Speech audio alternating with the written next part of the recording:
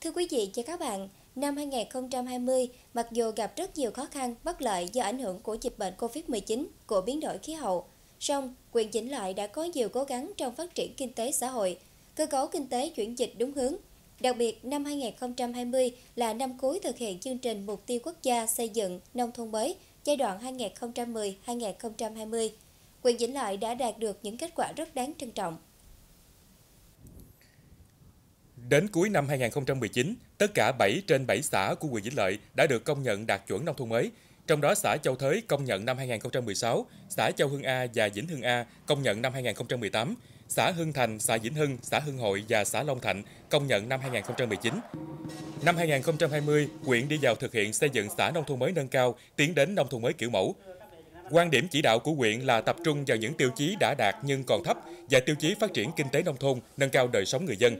đồng thời tiếp tục phát huy vai trò chủ thể của người dân trong xây dựng nông thôn mới. Năm 2020, mặt trận và các tổ chức đoàn thể chính trị xã hội ở địa phương như Đoàn Thanh niên, Hội Phụ nữ, Hội Nông dân, Hội Cựu chiến binh đã thường xuyên tổ chức tuyên truyền, vận động đoàn viên hội viên tham gia tích cực vào quá trình xây dựng nông thôn mới. Nhờ làm tốt công tác tuyên truyền giáo dục gắn với biểu dương nhân rộng những cách làm hay, những giải pháp sáng tạo, nên việc xây dựng nông thôn mới ở Vĩnh Lợi đã trở thành phong trào thi đua sôi nổi, lan tỏa rộng khắp. Bộ mặt nông thôn mới của huyện tiếp tục được khởi sắc, nông dân có những đổi mới trong cách nghĩ, cách làm, góp phần tích cực vào việc thực hiện thắng lợi các chỉ tiêu nhiệm vụ phát triển kinh tế xã hội năm 2020. Trong đó đáng chú ý là sản xuất nông nghiệp và nuôi trồng thủy sản năm 2020 đạt 958 tỷ đồng, tăng 2,89%. Huyện đã xây dựng được mô hình liên kết sản xuất gắn với tiêu thụ lúa chất lượng cao theo chuỗi giá trị với diện tích 2.320 ha, có 11 doanh nghiệp và 1.577 hộ tham gia. Đồng thời là cầu nối cho các doanh nghiệp, tổ hợp tác và hợp tác xã liên kết sản xuất gắn với bao tiêu sản phẩm cho nông dân. Bên cạnh đó, công tác an sinh xã hội, chăm lo cho gia đình chính sách, hộ nghèo, cận nghèo tiếp tục được quan tâm. Quyện đã hỗ trợ vốn phương tiện sản xuất cho 158 hộ nghèo với số tiền hơn 700 triệu đồng, xây dựng sửa chữa 15 căn nhà tình nghĩa, 197 căn nhà cho hộ nghèo, hộ cận nghèo gặp khó khăn về nhà ở. Nhờ làm tốt công tác chăm lo và khơi dậy ý chí dương lên thoát nghèo, nên hiện nay huyện chỉ còn 165 hộ nghèo, chiếm 0,69%. Thực hiện ý kiến chỉ đạo của tỉnh ủy và ủy ban nhân tỉnh về việc để nhanh hoàn thành các cái chỉ tiêu nhiệm kỳ năm 2020 thì à, thực hiện cái à, tinh thần chỉ đạo đó thì à, huyện ủy ủy ban nhân huyện cũng như là ban chỉ đạo thực hiện các chương trình mục tiêu quốc gia trên địa bàn đã chủ động xây dựng kế hoạch rồi phân công cụ thể cho từng ngành ờ, và các xã để thực hiện từng tiêu chí ờ, xã nông thôn mới và huyện nông thôn mới. Thì qua thời gian thực hiện thì đến nay thì ờ,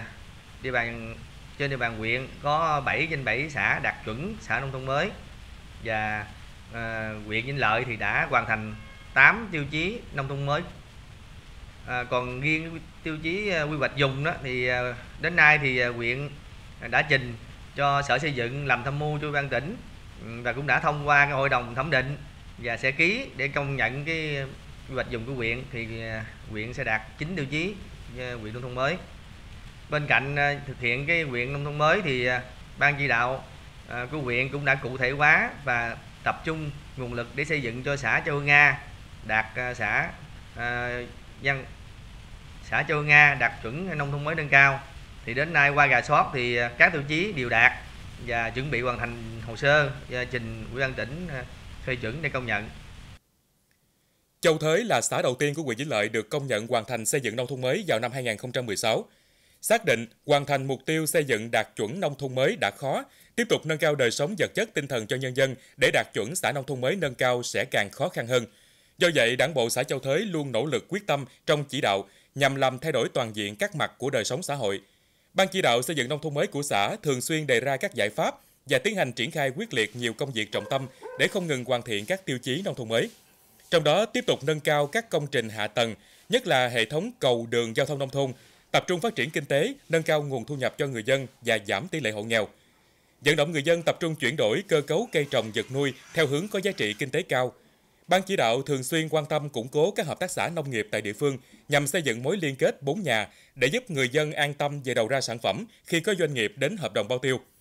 Trong quá trình sản xuất, người dân ngày càng được chuyển giao khoa học kỹ thuật mới vào sản xuất, đặc biệt có nhiều hộ đã tìm tòi và ứng dụng được những cách làm hay hiệu quả để góp phần nâng cao năng suất, chất lượng sản phẩm.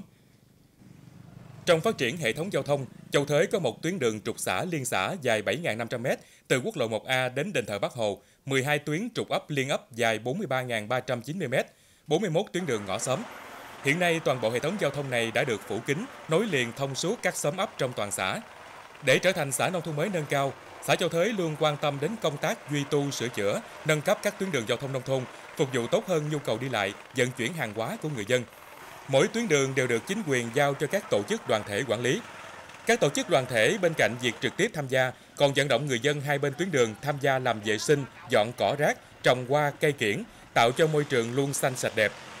Trong những ngày cuối tháng 12 năm 2020, xã Châu Thới đang tập trung thi công tuyến lộ từ cầu Lung Sen đến dàm xã Sính thuộc ấp Dòng Bướm B.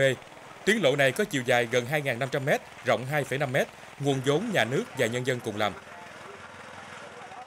Đầu năm thì được cái sự cái triển khai mà tiếp thu của cái kế hoạch của đảng quỹ về với ủy ban về mà thực hiện cái cái cái về xây dựng nông thôn mới nông mới uh, nâng cao thì nói chung thì qua cái tiếp thu rồi đó thì nói chung cái tiến lộ này nó rất nó nó rất là là là là là, là, là tệ. Cho nên mà được cái sự quan tâm của đảng nhà nhà nước khi mà thực hiện cái nguồn vốn mà nhân dân nhà nước cùng làm nó ngay mình cũng đắn đo. Khi mà hợp dân triển khai thì nói chung hình như là tất cả dân được là ủng hộ rất cao nên cái tiếng từ cầu Lung Sang ra tới dạm Thị Xính cái tiếng này thì đang ờ, thực hiện cái nguồn vốn nhân dân nhà nước cùng làm. Thì nói chung cái tiếng này đã thực hiện nó nó nó nó gần xong có thể là hoàn thành trước trước, trước Tết Nguyên đán năm 2020 do đó thì nói chung người dân ở đây thì khi mà đã thi công rồi thì dân động là lắp đầy lộ ganh anh ấy đắp cái tuyến đường này thì dân đang tiếp tục là là là, là đóng à, là đắp cái lộ là tự tự phát rồi tự tự kiếm à, cây hoa kiển trồng thì nhằm mục đích có thể đạt được cái, cái theo cái cái công trình phần việc một của chi bộ đăng ký năm 2020 đó có nghĩa là là nâng à, nông thôn mới nâng nâng cao. Rồi đi đi đến là nông thôn mới kiểu mẫu. Thì ờ, cái hướng thì tôi nghĩ rằng à, là năm nay có thể là tương đối là đạt khoảng là gần 90 phần trăm. Mà nếu à, điều kiện có thì có thể là phấn đấu đạt theo cái công trình phần việc của chi bộ đã đăng ký năm 2020 với đà, đà đảng quỹ. Ấp dòng bướm B, xã Châu Thới có 257 hộ dân với 223 hecta đất canh tác lúa. Từ khi được công nhận xã nông thôn mới đến nay, ấp dòng bún bê đã tập trung thực hiện củng cố, nâng cao chất lượng các tiêu chí nông thôn mới và đã đạt được những kết quả khả quan. Xác định phát triển kinh tế hộ là cơ sở để xây dựng nông thôn mới. Trong thời gian qua, công tác vận động người dân đẩy mạnh phát triển sản xuất theo hướng hàng hóa được ấp dòng bún bê triển khai đến toàn thể người dân. Nhiều mô hình phát triển kinh tế cho thu nhập cao đã ra đời, giúp nhiều hộ dân thoát nghèo và dương lên làm giàu trên mảnh đất quê hương. Đời sống vật chất và tinh thần của người dân được nâng lên rõ rệt, Tỷ lệ hộ khá và hộ giàu ngày càng nhiều. Hiện nay trong ấp chỉ còn 7 hộ cận nghèo và 2 hộ nghèo đang hưởng trợ cấp xã hội. Thì nhìn chung cái à, cái gì sản xuất nông nghiệp thì chính chăn nuôi là phụ nhưng cái nông nghiệp thì nói chung là trồng bông bê đợt này hết sức là phấn khởi có nghĩa là là các nơi đều là là là là là, là trắng tay hết những bê đến hiện tại thời điểm này là giữ nguyên diện tích là là 200 là là 2 23 hecta là giữ nguyên 100% diện tích à, thời điểm lúc này là lúa đã đã cuối rồi. Nhưng giá lúa này thì dân hết phấn khởi cái thứ nhất. Thứ hai là công tác xóa đói và giảm nghèo thì hình như mặt nào đó thì vẫn bây giờ là hội làng 7 bây giờ đã xóa được, được năm mà như còn hai hộ này nghĩa là đang hưởng bảo trợ xã hội thì nghĩ rằng là những B không còn hộ nghèo. Mà hộ cận hiện tại giờ là còn là 7 hộ. Đó thì do đó cái cái về cái à, cái cuộc sống của dân thì mình thấy đây là những cái mà đáng mừng. Cũng à, do đó cũng à, nói chung thì cũng được cái nhà mà lụp sụp mà nói chung được nhà, các cấp lãnh đạo đã qua cũng hết sức là quan tâm cho nên giờ hoàn chỉnh rồi không còn nhà mà lụp sụp.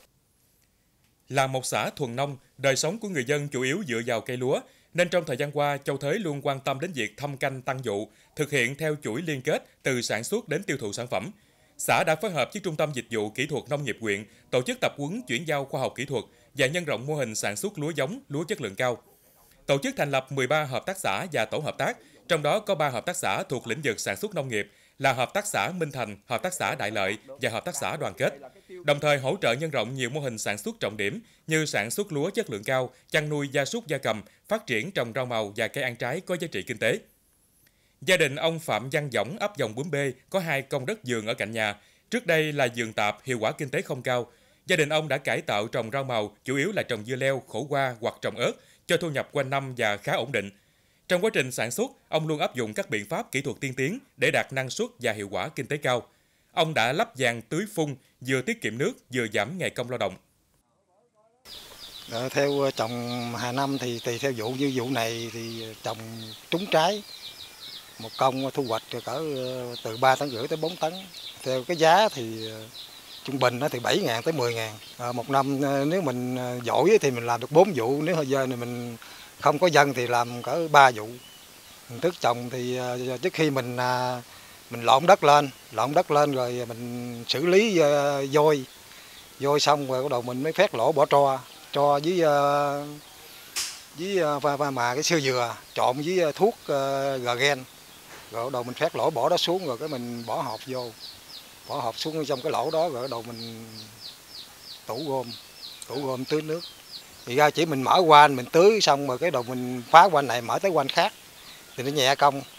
còn tưới dây thì ờ, mình phải lôi đầu này vô mương rồi lôi đầu này kia lại vô mương. À, nó nặng nhọc hơn cái kia gấp mấy lần. Thực hiện mục tiêu xây dựng nông thôn mới nâng cao, bên cạnh những thuận lợi, xã Châu Thới cũng còn một số khó khăn nhất định, trong đó sản xuất nông nghiệp chất lượng cao chưa mang lại hiệu quả như mong muốn, việc tìm đầu ra cho sản phẩm nông nghiệp còn nhiều khó khăn không ổn định. Ngành nghề dịch vụ tuy có phát triển nhưng còn chậm và thiếu đồng bộ, giá trị sản phẩm của các ngành nghề còn thấp, thiếu tập trung.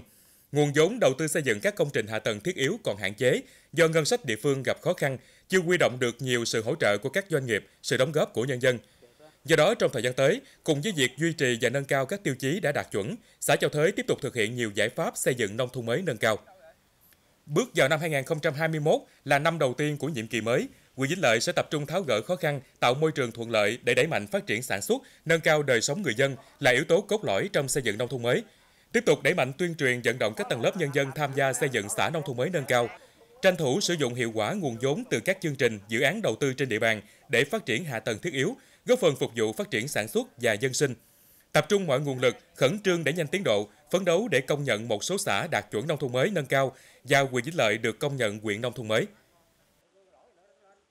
Thực hiện quyết số 12 của ban chấp hành đảng bộ huyện đó thì à, cuối nhiệm kỳ thì huyện đạt chuẩn nông thôn mới nâng cao, có 4 xã đạt chuẩn xã nông thôn mới nâng cao và hai xã đạt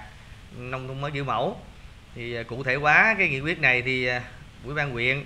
cũng đã chủ động xây dựng kế hoạch rồi phân công các ngành và chọn năm 2021 á, thì chọn xã Vĩnh Nga và xã Châu Thới để tập trung nguồn lực ưu tiên đầu tư các hạng mục công trình để ờ, hoàn thành cái các cái tiêu chí xã nông thôn cao cho hai cái ờ, xã này thì uh, tùy tình hình thực tế và cân đối nguồn lực thì ủy ban huyện sẽ tham mưu cho hội đồng dân trình để thông qua các hạng mục cần thiết để làm sao đầu tư và đến cuối năm 2021 thì xã Vinh Thiên A và xã Châu Thới đạt chuẩn nhân xã nông thôn mới nâng cao. Với sự vào cuộc của cả hệ thống chính trị, sự hưởng ứng tích cực của người dân đã tạo nên sự chuyển biến rõ nét trong xây dựng nông thôn mới ở huyện Vĩnh Lợi thời gian qua. Đó là sự chuyển biến từ nhận thức đến hành động của đảng bộ, chính quyền và mọi người dân trong huyện. Tất cả đều đồng lòng quyết tâm xây dựng thành công nông thôn mới. Với những kết quả đạt được trong xây dựng nông thôn mới 10 năm qua, nhất là trong năm 2020, sẽ là cơ sở là bài học kinh nghiệm để huyện Vĩnh Lợi hoàn thành các mục tiêu về xây dựng xã nông thôn mới nâng cao theo kế hoạch lộ trình hàng năm đã đề ra. Thưa quý vị và các bạn, chuyên mục chỉnh lại ngày nay với chủ đề phản ánh những kết quả đạt được trong xây dựng nông thôn mới của huyện đến đây là hết. Xin kính chào tạm biệt.